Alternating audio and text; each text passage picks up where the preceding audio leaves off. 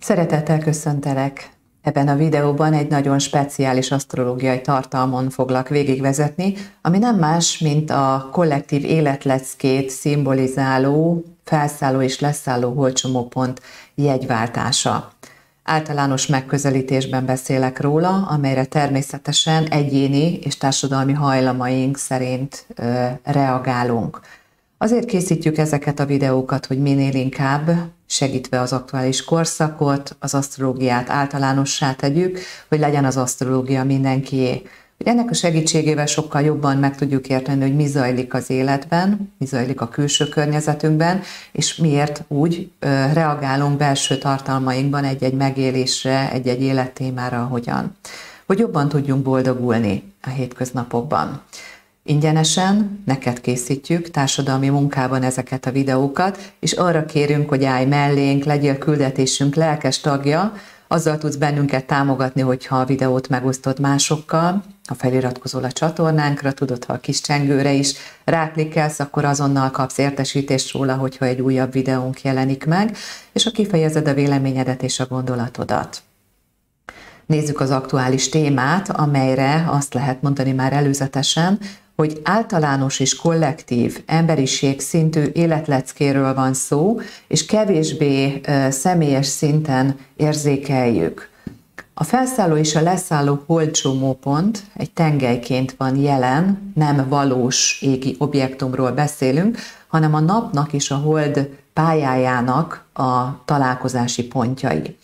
Két pont egymással szemben lévő területről van szó, így egy tengelyt jelölnek ki a hétköznapi asztrológiai megközelítésben nagyon gyakran használják a karma kifejezést erre a tengelyre, hiszen fejlődési, szükség szerinti irányokat jelöl ki számunkra kollektíven. Ezért mindenképpen egy érzékeny pont. A keringési ideje 18 év és 7 hónap, így egy jegyben körülbelül másfél évet tartózkodik. Minden esetben a felszálló-leszálló holcsomópont tengelye, ahogyan végighalad az égi útja során, tehát 18 év, 7 hónap alatt járja körbe az ekliptikát, a planéták megszokott irányához képest hátráló mozgásban van. A keleti, keleti asztrológiában Rahu Ketu elnevezéssel is illetik ugyanezt a pozíciót, így magyarra lefordítva sárkányfej és sárkányfarok néven is használjuk ezt a kifejezést. Ha belegondolunk, ugye nagyon találó szimbólumot találtak erre a fiktív pontra, hiszen a sárkányok, mint mitikus lények általában mindig valami nagyon komoly értéket őriztek, valami fajta tudást, amit a hős úgy tudott megszerezni, hogy nagyon komoly változáson ment keresztül a különböző próbákon, feladatokon keresztül. Ma is ugyanezt szimbolizálja számunkra a felszálló és leszálló holcsomópont, ahogy mondtam, alapvetően kollektív, emberiség léptékű, sors feladatkört, életleckét és tanítást hordoz mindannyiunk számára, és különböző élethelyzetek és próbák elé állít az életleckének egy más aspektusával szembesít bennünket. Itt látod a mintázatát, hasonló a két ábra, nyilván egymást tükrözik, egymást tükröző pontról van szó, ezért ez a szimbolikában is megjelenik. A leszálló mintázata az olyan dolgokat sűrít össze, amire azt lehet mondani, hogy az eddigi fejlődési úton összegyűjtött tapasztalataink összességét ö, hordozza, mint egyfajta eszencia, egy kikristályosított mintázatban. És a tapasztalatainkban van egy csomó dolog, amire azt lehet mondani, hogy pozitív értékként tekinthetünk, mert már megfejlődtünk dolgokat, elsajátítottunk készségeket, erőforrásokat, gyűjtöttünk össze, de természetesen még nem vagyunk a beérkezettség állapotában, és ezért sok olyan dolog is ebben a leszálló mintázatban ott van, amit még meg kell tanulnunk elengedni, megváltoztatni, másképp csinálni. Ez a mintázat kollektíven is, mint ahogyan az egyéni életünkben, nincs folyamatosan a tudatunkban. Nagyon figyelni kell, és az asztrológia egy nagyon jó eszköz, hogy felismerjük azokat a mintázatokat, és tudatosítani tudjuk, ami ehhez a tartalomhoz kapcsolódik. Mert, ahogy mondtuk, vagy ahogy kifejeztem, árnyékban van, kollektív tudattalan tartalmában van bennem, mindaz, ami értékként hordoz ez a mintázat, amit erőforrásként használhatunk fel, és mind azok a dolgok, amelyekre azt mondhatjuk, hogy meghaladni való, tanulni való feladatköröket szimbolizálnak. Ezzel, ami szemben van, egy új irány szimbolizál, a fejlődésünknek a lehetőségeit mutatja, a sorspedagógia számunkra felkínált következő fejlődési lépcsőfokát, amivel emberiség szinten dolgunk van.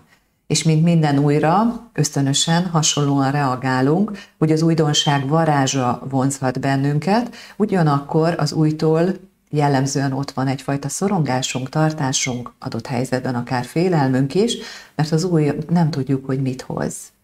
Ugyanakkor egy kikerülhetetlen, ahogy mondtam, karmikus, nem véletlenül használjuk ezt a jelzőt, egy karmikus fejlődési lépcsőfokot következő szintet tükröz, amivel akár akarjuk, akár nem találkoznunk kell, és valamilyen módon eh, jó esetben pozitív aspektusaiban ki kell dolgoznunk magunkban azokat a témákat, ami a felszálló holcsomópont és a leszálló holcsomópont integrációjából fakad. Hiszen a fejlődés az mindig a múlt alapján történik meg, a múlt ö, értékeiből felhasználva a megfelelő erőforrásokat, megfejlődjük, meghaladjuk azokat a dolgokat, amelyek a múltbéli dolgokban már visszahúznak és akadályoznak bennünket. Ezért Ken Wilber szavait nagyon jól hozzá lehet társítani a felszálló holcsomópont mintázatához, ami a fejlődésről azt mondja, hogy az nem más, mint a múltbéli dolgok értékeit megőrizve azt meghaladjuk. Az elmúlt időszakban 2020. május 5-től január 8-áig a felszálló holcsomópont az ikrek jegyében, a leszálló holcsomópont pedig a nyilas jegyében volt. Ezt a témát körbejártam 2020 májusában egy videóban, amit itt a YouTube csatornán megtalálsz, hogyha szeretnél egy kicsit visszatekinteni és bővebben tájékozódni, amit úgy gondolom mindig érdemes, amikor egy új fejlődési szakasz előtt állunk, hogy mi is volt benne a múltban. Összefoglaltam az, azokat a fogalompárokat, aminek az intenzív inkább kettősségével találkoztunk az elmúlt időben, mint akárha a magyar társadalmi működést, mint a globális világon tapasztalható működésmódot vesszük figyelembe. Mit is hordoznak, ugye két végpontról van szó, és a végpont témaköre egyben magában hordozza egyébként az egészséges összekapcsolását, úgymond integrációját a két végpontnak. A kiválasztottság kontra többség, úgymond az átlag népesség és lakosság mennyire közeledett, mennyire integrálódott, vagy mennyire feszült meg, és távolodott el még inkább egymástól. Azt gondolom, hogy rád bízom az eldöntését, hogy ebben mennyire jutottunk magasabb szintre, hogy tudtuk ezt integrálni, vagy inkább a szétfeszítés irányába és a diszonancia irányába haladtunk kollektíven. Van a nyilas energiában a kinyilatkoztatás, az az van, amit én gondolok, az az egy idea, az az egy elv, kontra a párbeszéd. Így ugye a beérkezettség, az én tudom a tutit, és csak az egyedüli megoldás az a megoldás, ami az enyém, kontra a kíváncsiság sokszínűséggel. A felsőbbrendűség, a kiválasztottság tudat, ugye az elvegyüléssel, az együvé tartozásnak a megélésével. Az egy ideológia, legyen az politikai, filozófiai, vallási, életszemléleti ideológia, kontra sokszínűség. Csak az az egy a jó, amit én mondok, ahogy én gondolkodom, vagy nyitott vagyok, hogy ugyanazt a témát lehet más oldalról is megközelíteni. Aztán, ami ebben az ikrek nyilas tengelyben nagyon benne van, az ideák, a magas rendű elképzelések, a nagy, nagy álmok és kontravalóság. Hogy ez tudott-e kapcsolódni, és mennyire. A magas röptű történetek kontra a hétköznapi érthetőség. Ezek voltak azok talán a legfontosabb kulcsfogalmak, amelyek nekem eszembe jutottak, hogyha asztrológia iránt érdeklődő vagy lehet, hogy még más fogalompárokat is be tudsz rakni ebbe az időszakba. Tehát amivel intenzíven találkoztunk, hogy ez a bő másfél év lehetőséget adott arra, hogy párbeszédet gyakoroljunk, minél inkább nyitottan és kíváncsian mások nézőpontjára, a saját hitünk, életszemléletünk és bármilyen politikai, filozófiai, életszemléleti ideológia mentén. Kérdés, hogy ez párbeszéd volt-e, vagy kinyilatkoztatás, megosztás, megosztottság. Én azt gondolom, hogy inkább, én legalábbis azt tapasztalom, hogy inkább sajnálatos módon a magyar társadalomra is az utóbbi a jellemző. És e, amikor a felszálló leszálló pont ebben a jegyben jár, az igazságosság témái különösen kiemeltek. Ebben a másfél évben nagyon-nagyon sok olyan híradást olvastam, láttam és tapasztaltam, ahol az emberi jogok, az igazságosság, az etika, akár mondhatjuk úgy is, hogy a kozmikus morál, vagy egyáltalán csak az igazságosság, társadalmi igazságosság témái nagyon komolyan sérültek. Kérdés, hogy hogyan feleltünk meg ennek a kollektív életleckének, ami mögöttünk van, hiszen minden következő fázis az magában hordozza az előző időszaknak a befektetett munkáját, hogy hová jutottunk. Ebből lépünk most tovább január 18-ával, a felszálló holcsomópont megérkezik a BIKA jegyébe, és 2023. 7. hó 17-ig tartózkodik ebben a jegyben. Korábban nem volt annyira túl régen, úgyhogy vissza lehet emlékezni, 2003. április 14-től 2004 december 26-áig haladt végig ez a tengely, a bika és a vele szemben lévő skorpió jegyekben, mert hogy mindig tengelyként gondolkodunk. A, amit megszólít alapvetően, mind a bika, mind a skorpió jegye az asztrológiai jegyek közül a fix jegyek közé tartoznak. A világ úgymond négy sarka, négy tartóoszlopából kettő a bika és skorpió területéhez kapcsolódik. A másik kettő pedig az oroszlán és a vízöntő területéhez.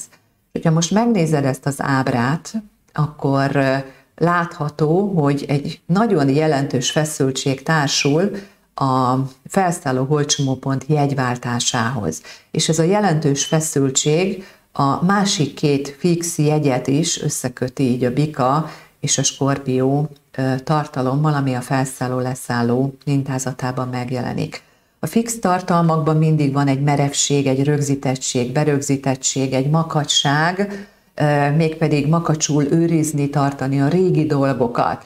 Így egy ilyen belépővel, egy ilyen indítatással sajnos azt gondolom, hogy kollektíven emberiség szinten kevésbé vagyok optimista abban a tekintetben, hogy tudunk rugalmasan megújulni és rugalmasan változni.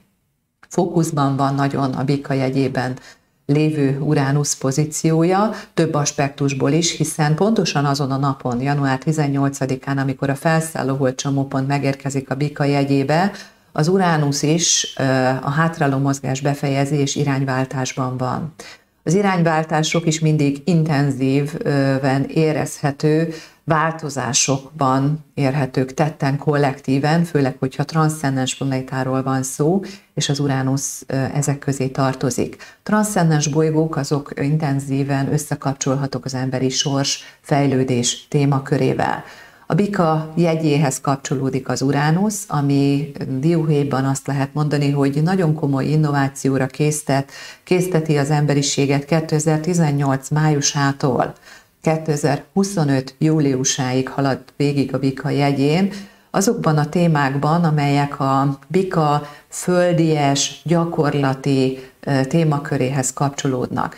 Mik azok a legfontosabb témakörök, ahol leginkább érezhető a feszültség, a korábbi dolgok szükségszerű változtatása, amiben már elérkezett az emberiség, mondhatom, egyfajta töréspontra, egy határpontra, ahol szükség szerint jönni kell valami innovációnak, újításnak.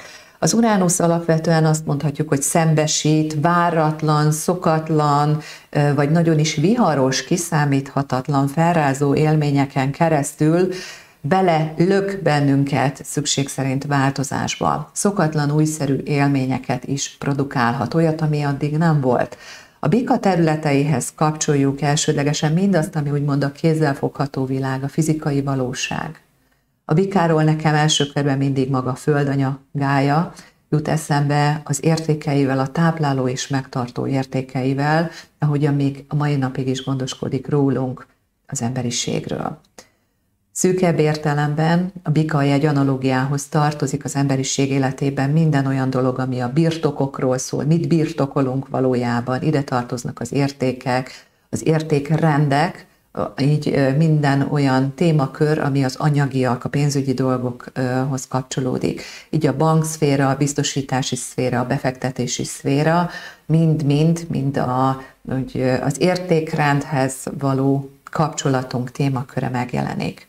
Aztán a táplálást már idehoztam földanyán keresztül, így a teljes mezőgazdaság, az élelmiszerpiac, az élelmiszer előállítás is a BIKA témaköréhez kapcsolódik, és általánosságban mondhatjuk, hogy minden, ami a, a hagyományok, a hagyományos, vagy a jól bejáratott, jól berögzített, a jól biztonságba helyezett tartalmak, az a bikás energiáról rajzfilmben Dagobert bácsi jut eszembe, akinek minden gondolkodása, minden gondolata körül forog, hogy a már meglévő kincsestárát hogyan tudja még tovább gyarapítani. Na ez a klasszikus, fizikai szinten értelmezhető bika analógia, hogy legyen nekem még több, és azt még nagyobb biztonságba tudhassam, hogy nehogy véletlenül bárki megkárosítson. Tehát ezt a fajta kollektív gondolkodásmódot, ami uralja a materializmus mélyére megérkezett emberiséget, hogy nagyon anyagelvűen gondolkodunk, és hiányzik az a fajta tágabb látásmód, ami az életünknek egy magasabb szintű valósága, hogy nem a materializmus az, ami előre viszi igazából az életet, mert úgy tűnik, hogy minden, amit ennek a segítségével hoztunk létre, az most az emberiséget egy zsákutcába vezette, és szükség van arra, hogy ezt a fajta materiális vagy szűkebb nézőpontot, és mindent majd a tudomány, és mindent a hétköznapi racionális gondolkodás segítségével majd itt átalakítunk és robotizálunk, és majd a tudományos technikai robbanás lesz az, ami megoldás fog jelenteni az emberiség problematikájára, ez úgy tűnik, hogy ez szellemi értelemben a, a, a szellemi értelemben mindenképpen egy zsákutcába vezet bennünket. Tehát változtatásra van szükségünk ezeken a területeken. Összefoglaltam egy kicsit, remélhetőleg nem haszontalanul azokat a fogalmakat, amelyeket nagyon bemozdít és megmozdít. A Bika jegyébe megérkező felszálló holcsomópont azzal együtt, hogyha erre az ábrára rátekintünk, akkor a teljes fix minőség érintve van, mind a négy fix jegy, tehát a bika, a skorpió, az oroszlán és a vízöntő energiák is érintve vannak, mint egy kollektív tehetetlenség, nyomaték, hogy bele sodródtunk az elmúlt akár évek, évtizedek fejlődési eredményének következtében egy bemerevedett állapotba, amit nagyon fontos lenne változtatnunk. Nyilván vannak olyan erők, olyan társadalmi rétegek, vezetők, egyéb energiák és erők formájában, amik konzerválni igyekeznek azt a kialakult, stabil helyzetet, amely az ő érdekeiket, egyéni érdekeiket szolgálják, de hogyha ezt a többség, ezt az érdeket kiszolgálja, akkor ebből nagyon komoly globális szintű nehézségek fognak majd következni emberiség szinten. Tehát a felszálló holcsomó pont, ahogy megérkezik a bika jegyébe, összekapcsol bennünket azokkal a témákkal, amit alapvetően a bika és a skorpió jegy analógiája ö, szimbolizál.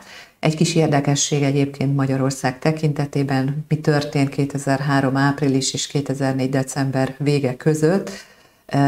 Itt szavaztunk arról, népszavazás volt, hogy akarunk-e az EU-hoz csatlakozni, és meg is történt egyébként az EU tagságunk 2004 eh, májusában. Május 1 vagyunk ugye Európai Uniós tagok, és eh, még egy klasszikus, ám nagyon pozitív tartalom, ami a hagyomány és az értékek őrzéséhez kapcsolódik, a 2003-ban eh, vette kezdetét, először 2003. júniusában a nyári napfordulóval indult el a mai napig is élő kezdeményezés a múzeumok éjszakája, ami a, a múltat, a, a tradíciókat, a régi dolgokból megőrzendő értékekkel segít közvetlenebb kapcsolatba kerülni. Ez egy kisebb kis szösszenet, mondhatom így, Magyarországon, de számomra mindenképpen ehhez a bika, skorpió tengelyhez kapcsolódó témát hordoz.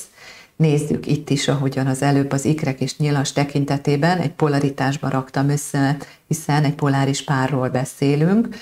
Mi az, amivel intenzíven találkozunk ebben a másfél évben. Kérdés, hogy tudunk-e a két pólus között közeledést létrehozni kollektíven, emberiség szinten, integrációt, vagy a megfeszítettségben és a, a még, még inkább polarizáltságban, kettősségben fogjuk megélni a Skorpió-Bika kapcsolódást.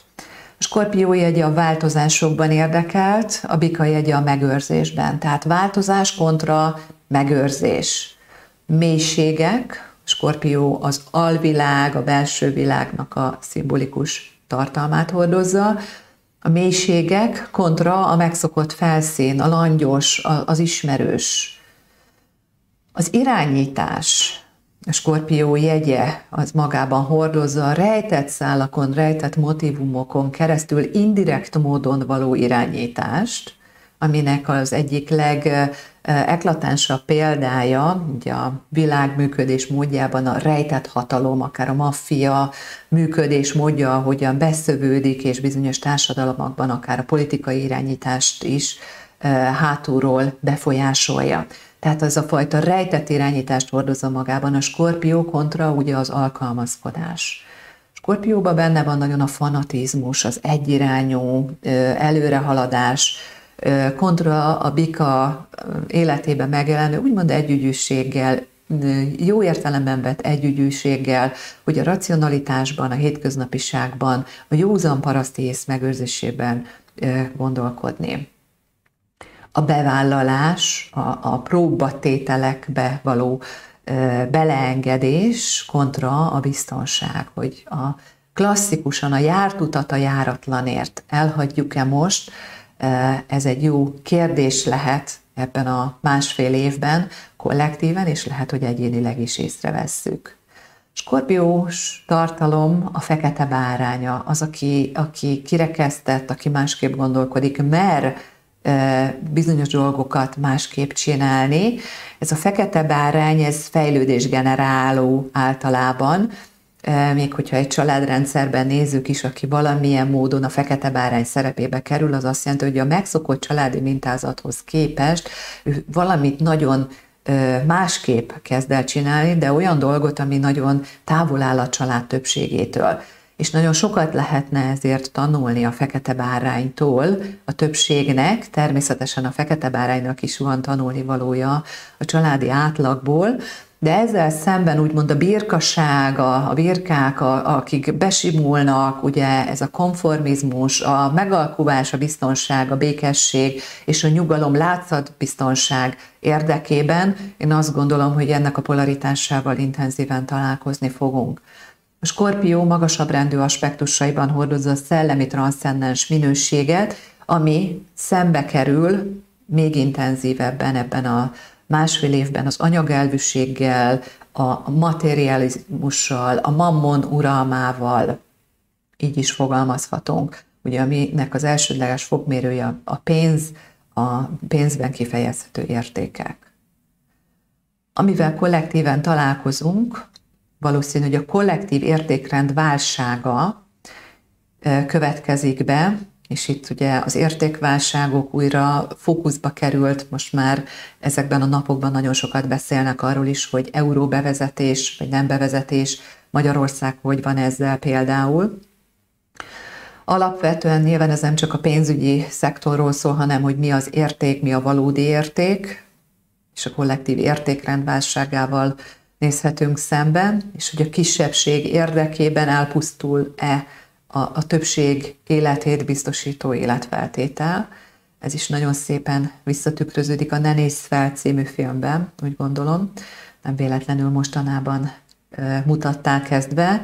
Egy e, jó kis rávezető hatást tükröz erre az élettémára, amivel szembenézünk. A művészeteknél ezt nagyon gyakran látjuk és tapasztaljuk, hogy egy lépéssel, mintha előrébb lennének intuitív módon, megsejtik az előttünk álló dolgokat is, ezt a különböző eszközökkel, filmirodalmi értékek formájában megalkotják. Tehát kollektív értékrendválság és a birtoklás témái át kell, hogy alakuljanak. A ki mit birtokol, mit birtokolhatunk valójában, és ebben jó lenne azt hinni, hogy ez pozitív irányba mozdul, alapvetően a lehetőség ott van, hogy pozitívabb irányba tudjunk mozdulni emberiség szinten, ugyanakkor arról az alapról, ahonnan indulunk, azt kell figyelembe venni, és a jelenlegi gondolkodásmód alapján úgy tűnik, hogy nem a közös tulajdon, vagy a közösnek a megőrzése felé haladunk, hanem inkább intenzívebben jelen van a pusztító kisajátítás. Minden, ami az enyém, ami kizáró, ami kisajátít, az rombol, ami elvesz másoktól, ami nem másokkal együtt működve történik. Tehát a pusztító kisajátítás vagy kollektív megőrzés, közös értékrend intenzíven jelen lesz, mint téma kollektíven az emberiség életébe. Mi az, amivel találkozhatunk? Természetesen mindezek a témák ott lehetnek az életünkbe, közvetlenül és közvetetten is, ugye a társadalmi folyamatokon keresztül. Egyébként megélhetjük azt, hogy ebben az időminőségben a saját ösztönvilágunk, a belső öntudatlan világunk aktívabbá válhat, intenzívebben kopogtathatnak olyan témák az életünkbe, amelyek nincsenek még helyretéve, tehát a múltból hozottan feldolgozásra várnak. Ennek a kiemelt témakörei a hatalomgyakorlás, témaköre, a transzcendens témákkal való foglalkozás, van akiknél ez a szexualitás, másoknál a halál, az azzal való kapcsolódás, a halál témájának a feldolgozása, vagy a végletesség és a szenvedélyek témája is intenzíven megjelenhet nyilván egyéni hajlamok szerint. Az érzékenység fokozódik kollektíven a belső, ugye árnyékban lévő öntudatlan világunkra, és ez hajlamunk, egyéni hajlamunk szerint van, akiknél szorongásokat fokozza, akár a paranoid működésmódot, amire azért kaptunk nagyon sok úgymond támogatást a jelenlegi társadalmi működésben és kollektív paranoia ebben a e, járványos szituációban, a Covid helyzetben tetőfokára hágott, tapasztalatom szerint.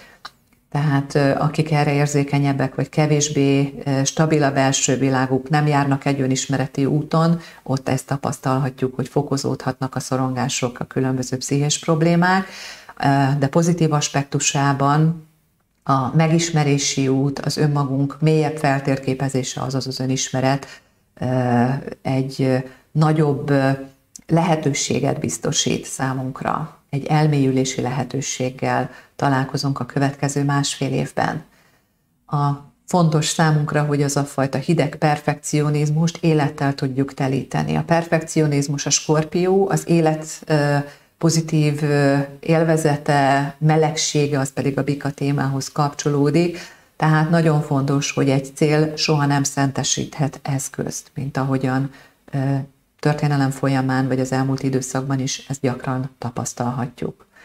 A természetet kell előre helyezni, és ahol csak lehet, ott a természetet próbáljuk gazdagítani, ültessünk növényeket, ápoljunk, ahol lehet, közösségi kertekben lehet gondolkodni, tehát mindenki a maga formájában próbálja megtalálni a saját személyes és gazdagabb, intenzívebb kapcsolatát a természettel. Aki társasházban él, az kiránduljon többet, tehát hogy a földanyával való saját személyes kapcsolatunkat tegyük aktívabbá, pozitívabbá, intenzívebbé, tehát a természetet építsük, annak a pusztítása, tehát a pusztítás helyett a megőrzésre és a teremtésre tegyük a hangsúlyt és egyénileg is foglalkozzunk általánosságban az értékrendünk átalakításával, mértékletességgel, hiszen a belső átalakulás kulcsa annak, hogy a külső világunk is megváltozzon. Ez azt gondolom nagyon szépen jól kapcsolódik Lev Tolstoynak az idézete, aki azt mondta, hogy mindenki az emberiséget akarja megváltoztatni, és senki sem önmagát. Pontosan egy olyan időminőségben vagyunk, ami lehetőséget biztosít egyénileg minél több ember számára a belső hatékony változásoknak, és minél többen minőségileg belső változásokon megyünk keresztül, az kollektív külső pozitív változásokban fog megmutatkozni. Tehát addig nem lesz külső globális és intenzív változás, amíg az emberiség tömegei nem véletlenül emberiség léptékű sorspedagógia által szimbolizált tanítási elvről beszélünk a holcsomópontváltásban, tehát amíg tömegesen nem kezdünk el egy érettebb szintre kerülni, addig a külső világunk nem fog intenzíven megváltozni. Be kell fejeznünk mások a föld erőforrásainak az elvételét, és a másokkal való harc és megosztottság helyett a békesség irányába tendálni, ahol csak lehet, ott a közösségire és a kollektívre tenni a hangsúlyt. És erre csak az a személy képes, aki el tud mozdulni abba az irányba, hogy a saját belső világában, Jung szavaival élve, eljut oda, hogy a tudat és a tudat alatti között a személyes belső életterében ki tud alakítani egy kölcsönös egyenlőségen és tiszteleten alapuló együttműködést. Annak érdekében, hogyha bennünk a belső világunkban rend van és béke van, akkor tud ez a fajta belső pozitív hatás a külső világunkban is pozitív változásokat teremteni. Hiszen a makrokozmosz, a külső világunk, és a bennünk élő mikrokozmosz az minden esetben össze van kapcsolva. Úgyhogy ezt a fajta élettémát és tanítást hozza most számunkra január 18-tól egy bő másfél évig a mm, sorspedagógia, legyünk, legyél erre te is nyitott. Ebben a videóban most a felszálló leszálló holcsomópont jegyváltásával foglalkoztam. Hogyha hasznosnak találtad ezt a videót, akkor kérlek ne felejtsd el megosztani másokkal, és adj el visszajelzéseket nyugodtan jelzéseket komment formájában is, és ne felejtsd el, ha még nem tetted meg, akkor iratkozz fel a csatornánkra, Oláni Megnyelszi Krisztina vagyok. Ha szeretnél a kollektív sors leckével, szinkronban pozitívan változni, és egy új szemléletmódot szeretnél kialakítani magadnak, akkor várunk iskolánkban, várunk ö, oktatásunkban, mm, az asztrológiaoktatás.hu oldalon tudsz tájékoztatót kérni. Köszönöm szépen a figyelmedet!